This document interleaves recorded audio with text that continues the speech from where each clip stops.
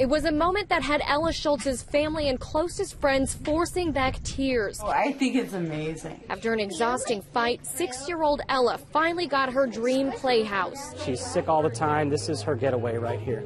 This is somewhere where she can go in, she can control who comes in, who goes out. I'm not really much of a cooker. Not only is Ella battling leukemia, but the family's been at arms with the Homeowners Association over her Make a Wish. They approved the design, and now Ella has a place to call her very own. Boys aren't allowed. She deserves this.